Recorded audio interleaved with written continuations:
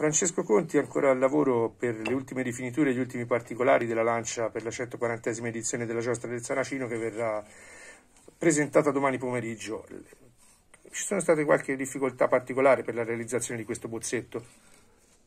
Sì, abbastanza, soprattutto per il soggetto cui era dedicata la lancia, Dante Alighieri, che non era una cosa così semplice da poter interpretare e poter radunare in una lancia di 3,50 m i motivi che io ritenevo opportuno poter rappresentare dalla Divina Commedia.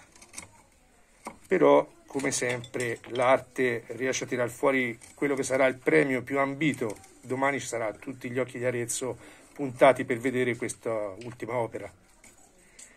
Certamente penso di aver creato un oggetto così particolare, anzi abbastanza ricco, visto che si parla sempre di questi momenti così difficoltosi, invece di dare una semplicità, un'essenzialità, ho ritenuto opportuno dare il massimo e fare quasi l'esagerazione anche nel rappresentare la lancia d'oro.